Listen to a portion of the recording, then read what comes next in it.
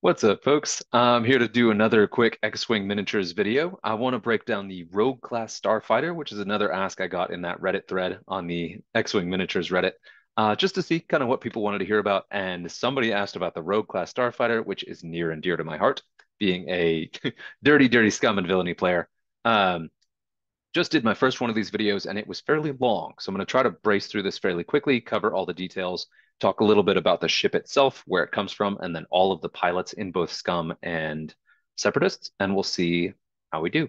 So obviously here it's a black box. It's one of the newer releases and one of the latest actual new plastic releases we've gotten for X-Wing miniatures. Uh, and as you can see here, also it's available for Scum and Separatist and comes with the sweet dual paint job with the nice, clean, intimidating Separatist or the uh, flashy, distracting uh, Scum and Villainy which is totally in character with the pilots too in both cases. So we'll go ahead and jump in there. Super quick background, the Rogue class starfighter is a modified Utapauan Porax 38. It's made by Baktoid, which you will know from some of the other key separatist ships, um, and it is canon officially. So jumping right into that, we're not going to spend too much time talking about the lore of the ship because while I like it, uh, yeah, can find that. So Jumping right in here, in Scum, you will see this ship with five different pilots, and then in Separatist, you'll see a full six, counting the generics. And I'm going to jump through each individual pilot ability in a second here, but the first thing I want to focus on is the chassis itself. And the chassis is going to be the same across the board, but I will take a minute to highlight that the actual chassis ability, the ability that's stapled to the ship is different between the factions and in some cases between the pilots. So right off the bat, we're looking at a stat line here of two base attack dice, do evade dice, five hull and two shields. So it's an X-Wing with one less attack die, uh, trades one shield for one hull. So typical scum, it's a little bit heavier on the hull and a little bit lighter on the shields, um, which is an interesting piece.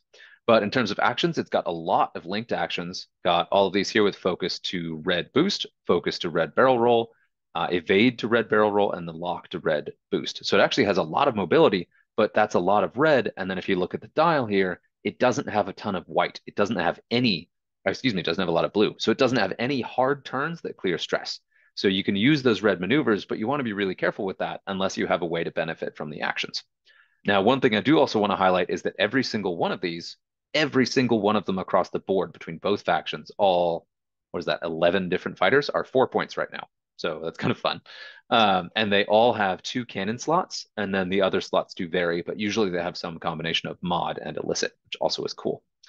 Uh, now, they do also come with a signature upgrade. And before I get too deep into this, I'm going to go ahead and highlight that. That being proton cannons. And then the alternative cannon is going to be your synced cannon.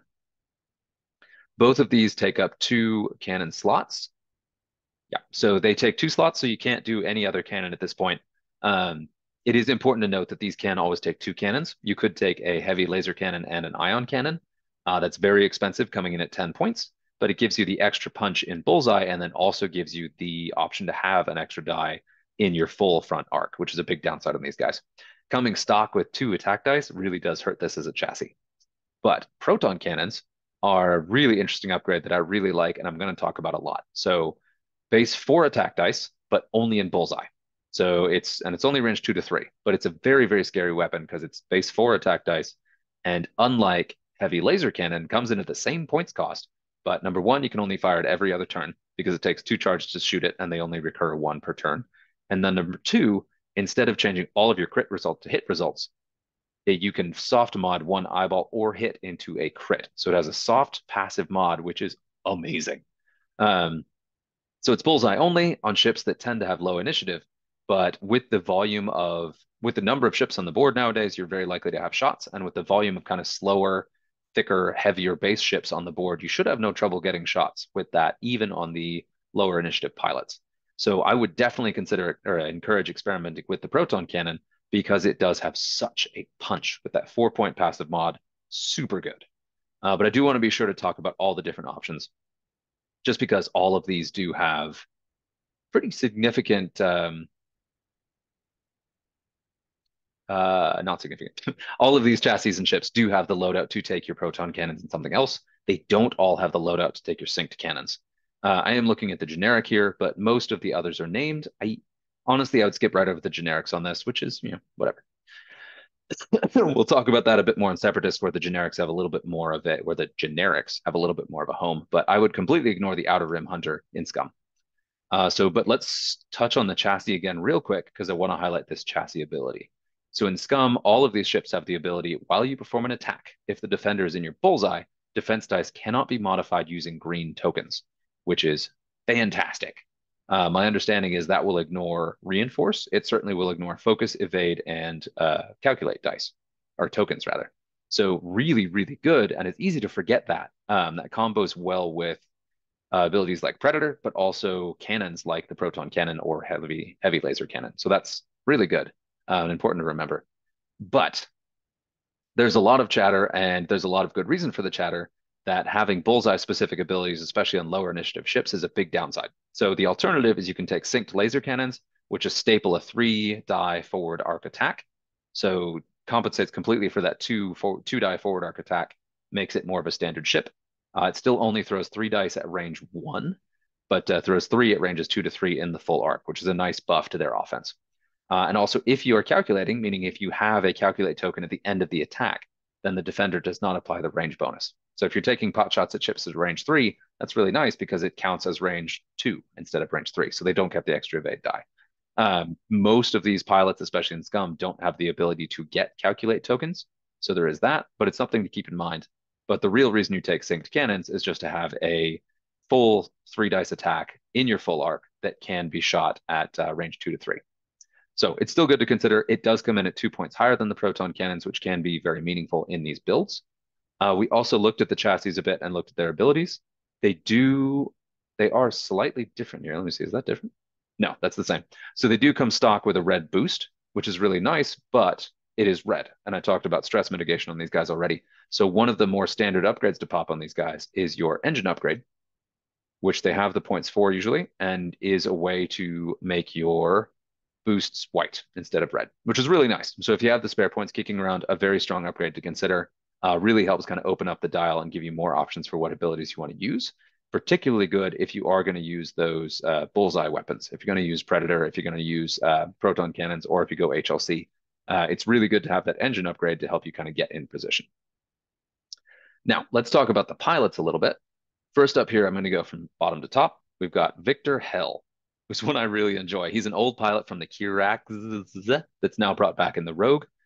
After you defend, if you did not roll exactly two defense dice, the attacker gains one stress token. So really good if you're parked behind rocks. If you're at range three, when you're rolling three defense dice, that will automatically give stress to your opponents and really discourage them from shooting this guy. Um, I like to make him a little punishing. You kind of skirt around rocks. you have your synced laser cannon, you have your engine upgrade. Uh, well, no. So for him, I don't do engine upgrade. I do trick shot. So it's a little bit situational, but having trick shot on there means that as you're shooting through rocks, instead of throwing three dice, you're throwing four. So uh, very nice piece of kit. Unfortunately, you've got 10 out of 11 loadout, and there's literally nothing he can take at that point for one point. So it's 10 out of 11, but that's a nice, simple kit that really gets the most out of his ability and kind of how you play him. So I really enjoy that personal build on him, but uh, you know, your mileage may vary. Next up, we've got Nom Lumb, who's another relic from other ships. He's also a pilot on the Jumpmaster. Uh, comes in at initiative one, but his ability is at the start of the engagement phase, you may choose one enemy ship in your forward arc. If you do, treat your initiative as equal to that ship's until the end of the round. Now, this is awesome because the downside of initiative one, that the biggest one, is that you shoot last. Whereas with this guy, you move first. So you have every benefit of being a blocker, knowing where everything is going to be when you move. So you're not going to be surprise blocked. Uh, and then getting your full action, even if you do block someone. But then also in the engagement phase, you then have the option to shoot at a higher initiative than one. So you don't have the downside of being initiative one in the engagement phase. Really underrated pilot, super good. I really, really like Nom Lumb with basically any build, uh, especially with high initiative ships being the majority on the table nowadays. You'll almost always have a good case to choose from. And these ships aren't that fast to where you're going to be overshooting stuff. So you should always have a couple options in ARC to choose from to pick your initiative you want to shoot at. Because you don't always want to shoot at the highest initiative possible, but you can if you want to. And I appreciate that flexibility too, where you can choose. Pick like that guy's I5, that guy's I6. I want to shoot second. I'll take I5. Uh, he's a really fun one um, and just interesting. So again, underrated. Those are both two that I barely see experimented with at all, but they're certainly worth considering because they're very powerful pieces. Next up, we're going in initiative order. We're going to talk about Cad Bane. Uh, key differences. So I'll go ahead and here. After you perform an attack that hits, you may spend two, and he's got two charges that recur one per turn, so you can do this every other turn. You may spend two charges to transfer one of your non-lock red or orange tokens to the defender. Now, we already talked a bit about stress mitigation. So this is a guy you don't put engine upgrade on. You want to get a little bit of stress at key moments. So you do focus boost to get position, and then you could use your proton cannon to pop that stress onto an opponent. And this is another case where I personally really like the proton cannon because it gives you the best punch, the most likelihood that those key hits will land so that you know you're going to pass over those tokens. So you're not taking a red token, assuming it'll pass over and then getting stuck with it. So I really like that. Uh, he is only initiative four, so it is risky to rely on bullseye tech, but it's got both the boost and the barrel roll options. You can always throw a coordinator in there to give it a little bit more flexibility.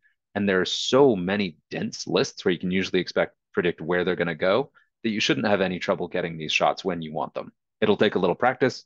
And of course, you could miss some shots you would otherwise uh, have if you had synced cannons, but you can still throw the two eye attack. And while it's not great, I mean, you still have it. So uh, grain of salt, but I personally really like CAD with proton cannons because of the combo with his ability and with the chassis ability dead to rights. It's a really devastating bullseye hit when it lands. You just have to make sure you're building and playing your list to the point where those do land as often as possible. Uh, in terms of upgrades, he's one of the three ships in the entire chassis that can take the Xanadu Blood title, which adds the red cloak action, then also adds a bomb and a crew slot. That's really, really key because if I take your proton cannons on here, CAD is still sitting with nine points and can take most of the most expensive crew upgrades grades available to Scum, which is really key. So if you need a carrier for someone like um, Hondo, if you want to get really weird for your coordinator, you can, but also you can have the obvious combo of, where are you, buddy? Zuckuss.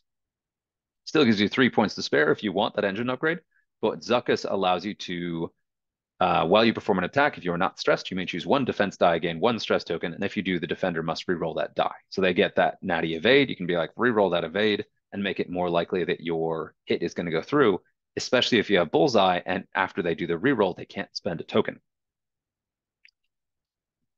Awesome. So that combo right there is the one that I personally stick to a lot with CAD.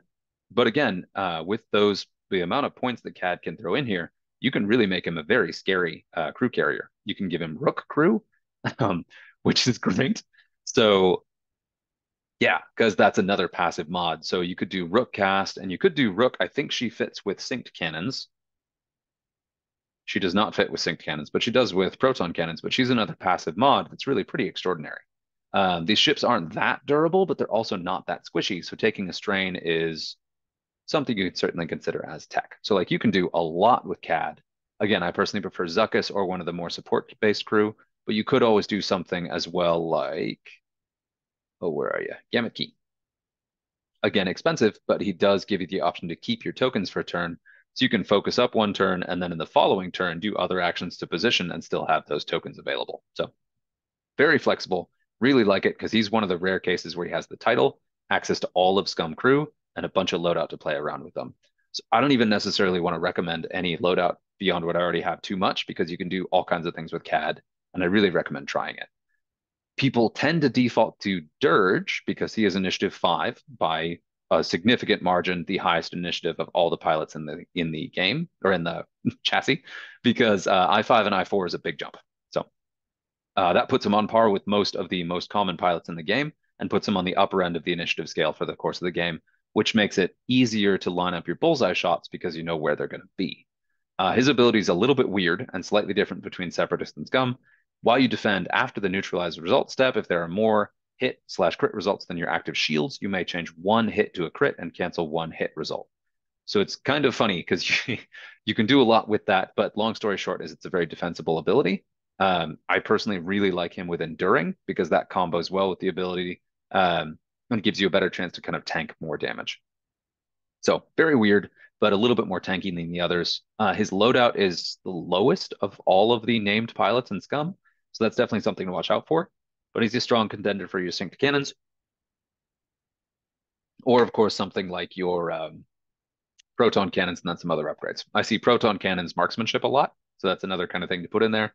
And of course, that gives you a couple points to play with because that's five so you still have five points to play with after that. You've got your illicit. You could give him the uh, uh, d- d- d- false transponder codes so that he can go ahead and jam enemies. So just looking at that marksmanship there. Fairly basic uh, Durge build. Durge is a really good one to play with if you're just not terribly familiar with the game. You want a basic one that's a high initiative that plays well and represents the chassis well. He's a good one to pick. So in the interest of keeping going, we're going to keep going. But one thing I really want to highlight here is every single one of these pilots is four points. You literally can take a squad of five of them. So five rogues, four points. And if you're concerned about lining up your bullseye shots, fly more of them. if you get two of these, or if you get three, I really like the triple rogue with proton cannons flying in a little sort of loose formation uh, where they can really become a very intimidating joust, uh, where they can set a chase around. And then you still have eight points to put in your squad, which could be Maul if you want to get weird, uh, or it could be two other four point ships, or it could be a six and a two. Like there are a lot of different ways to fill that to where you still get a lot of benefit from those rogues and those proton cannons being a, a devastating piece because you can just think of it again. It's uh, proton torpedoes that doesn't require a lock, even has a similar passive mod. So, uh, yeah, there we go. That scum. I really like these guys. Definitely a good piece to consider. They are the first brawler ship that Scum has had in a long time, where they have two evade, but they have decent hit points and it's a small base. Um, they are very flexible, but a little bit weird. But still, they can accomplish a lot, and I really like them as ships. So before too much time, we're going to jump into Separatist. Uh, again, you'll see Durge and CAD, but their abilities are slightly different. Uh, let me talk about the chassis first. So mostly the same, but, and they still have dead to rights on Durge and CAD, yes. So we'll cover the others. So then Durge has, when you would be destroyed, so this triggers once, uh, you may spend one charge, and he's only got one, to reveal all of your face down damage cards. If you do, discard each direct hit and each of your damage cards with the pilot trait, and then repair all of your face up damage cards. So he kind of gets a second lease on life, which can make him surprisingly tanky. And again, he is a character that can take uh, enduring, which is a nice way to limit the number of crits you get, which will get you the most possible benefit from this ability because you'll have more face down damage cards. So pretty great ability, otherwise very similar to the Scum one, um, but I will say that this is a case where Durge also has access to the title. So you can also take a look at those separatist crew pieces uh, with some interesting pieces in there. Another thing I want to be sure to mention on these guys is in separatist, they do have access to some slightly different talents. The biggest one being Ye Old Treacherous, which is a great piece on basically anything, but especially in a ship like a rogue. While you defend, you may choose one ship obstructing the attack, spend one. If you do, cancel one hit or crit, and then the ship you chose gains one strain token. And it's important to note that that can be a friendly ship or an enemy ship. So you make yourself a very tempting target, park yourself between a lot of attacking ships and a defending ship, and then the or an enemy ship, and the enemy ship in between triggers your treacherous, and then also um, will then gain a strain token for you to shoot back on, or for your squad mates to shoot back on, because I five he's probably shooting first. So I do like treacherous. I like it better on your lower initiative ships, or in a squad where you have other lower initiative ships that can take advantage of that strength. Uh, so yeah, that is Dirge. Now, CAD's ability in Separatist is a little different. During the engagement phase, after another ship at range 0 to 3 is destroyed, you may spend one to perform an action, even while stressed, which is fantastic because say you bring proton cannons and a bunch of droids, for example, if you're bringing vultures, which is not the best idea right now, but you could, um, then your vultures are popping, and all of a sudden CAD can reposition that proton cannon that he hadn't had that he hadn't lined up. He can do a boost or a barrel roll to get in position, or he can do a focus or target lock if he does have the shot. So that's still very, very good. Uh, and I found it to be very powerful to play against when I did. Otherwise, again, same dead to right, same dial, same initiative, everything same. CAD also has access to the title here, but of course, only one of your ships can have the title at a time. Uh, so it's important to note that, but then also you still have access to the crew upgrades in Separatist. And then you have access to that cloak action, which is handy if you're damaged and have a crate, for example. You can just run away and cloak, and good luck to them tracking you down couple more pilots here. Uh, I'm going to jump through these. Now, IG 101 is the first of our uh, unique named Separatist pilots, and these ones have networked calculations, which is important because there are a lot of other ships and Separatists that also play off networked calculations. So they will share tokens uh, with other vultures, with other hyenas, with other calculate ships. So that's important to note.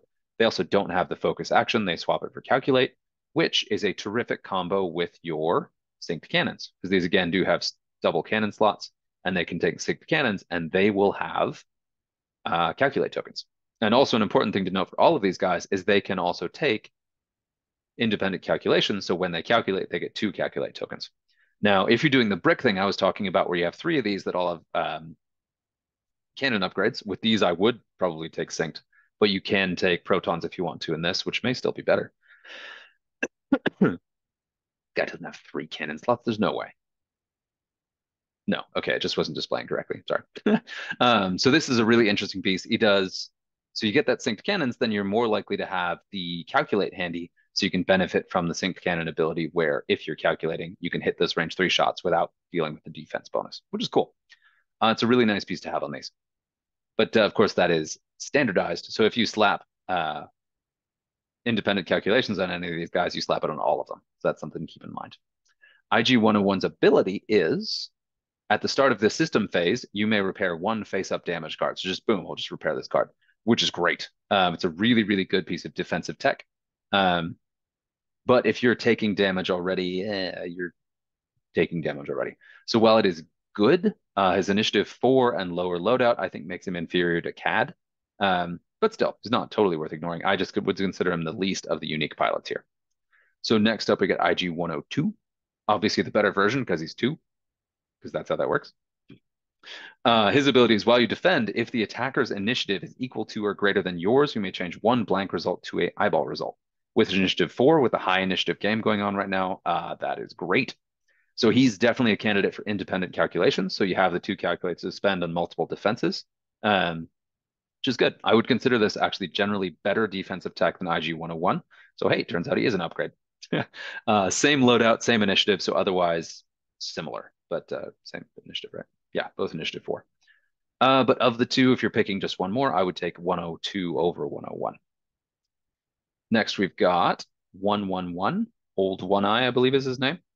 Uh, this is a great one. After you perform an attack that missed, you may choose one enemy ship in your bullseye and gain one deplete token. If you do, that ship suffers one damage, just takes a damage, uh, which is great. It's bullseye only on initiative one, which is a bummer, but you can use this guy as a blocker to help guarantee that you have more uh, bullseyes, and then seriously discourage the ship you have at range zero from shooting at you, and discourage any other ship in your bullseye from shooting at you as well. So it makes it a very tanky four um, four point ship unless you are out of bullseye, in which case it does nothing. So it's not the worst thing to consider, but free damage is nice. Um, you're shooting last, so it's not that great.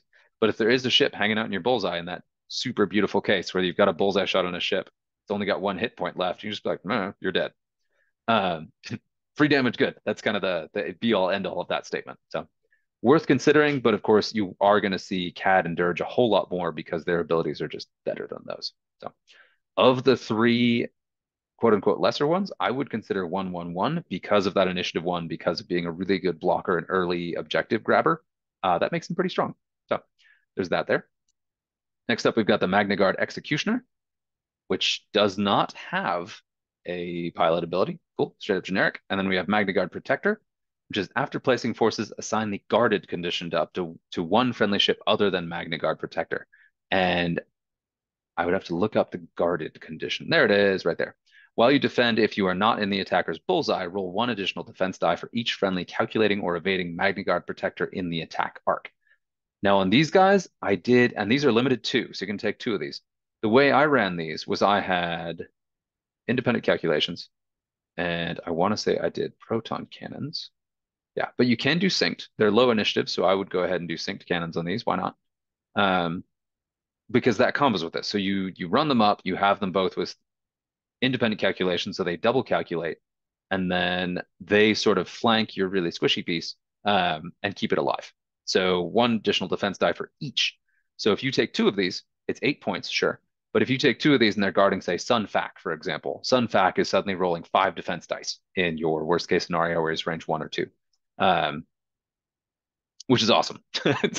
uh, so I actually, when I first ran these, they had the loadout to run afterburners, which they still do, but it's not good. um, and so I ran them with afterburners to help them keep up with uh, Sun Fac, so they could really help provide that. Um, which is good. It does really help them keep up with Sun Fac, but the ship isn't all that slow by itself. Uh, so I would go ahead and just keep them as is and bring those synced cannons and indie calculations to really benefit from that ability, and then you've got three more points to throw. Oh, not a HLC, excuse me. Synced cannons. And you have two points still to play with, uh, which there's not much you can do with. You could throw in a jamming beam. Uh, no, you can't. They don't have any of that. So, a whole Discord missiles. There's your build right I love, okay, I love Discord missiles. Uh, that is a really, really strong piece. You have your AC ship. You want these guys to guard it. They give the guarded condition. Then you have buzz droids. You've got synced cannons, indie calcs. Um, that's actually a really, really good piece that I'm glad I stumbled across that. Cool.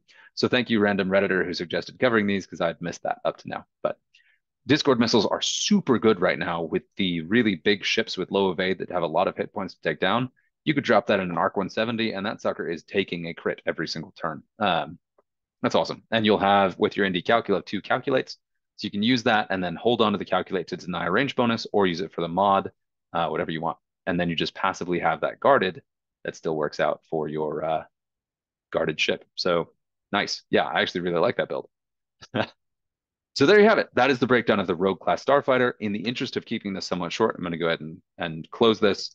Uh, I talked a little bit along the course of this about where to put these in a list, but uh, the Rogue is a really flexible piece. And the place I see it used the most and the way that probably makes it a, the best is to just slot it in any of your four point slots. Just throw in a rogue class and see how it goes. Uh, if you have the time and, and, wherewithal, I would experiment with running two of them that fly together as little wingmates who fly both with proton cannons to help line up those double um, proton cannon bullseye arcs to make sure that those a little bit more consistent and to help kind of uh, fly together because they have the same dial. Um, and a lot of them have the same initiative, so you can really fly that well and get a lot out of it. So um, yeah, hopefully that was helpful and let me know what you think.